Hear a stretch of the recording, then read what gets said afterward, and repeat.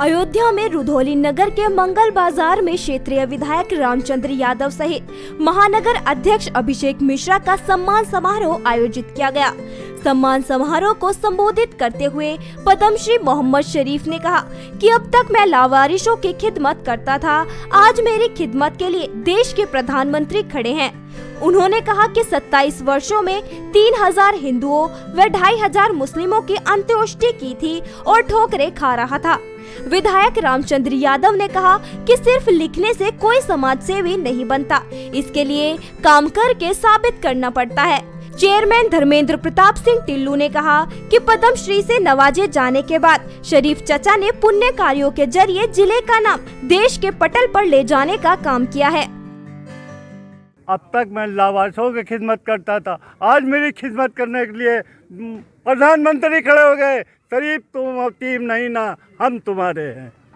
हम तुम्हारे हैं। सत्ताईस बरस से तीन हज़ार हिंदुओं को, दो ढाई हज़ार मुसलमानों को किया और ठोकरे खा रहा था। मेरा बच्चा चला गया, मैं तीन था, कुछ नहीं था। आज प्रधानमंत्री ने पूरा जोश दिया है कि हम तुम्हारे हैं और कोई तुम्हारा नहीं ना। देखिए, हमारा एक बच्चा था, उसका नाम मोहम्मद रईस था।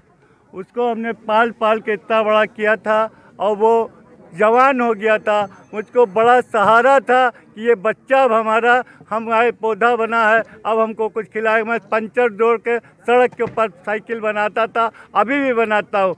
मगर वो सुल्तानपुर किसी काम से गया और उसको मार के लाइन के किनारे फेंक दिया।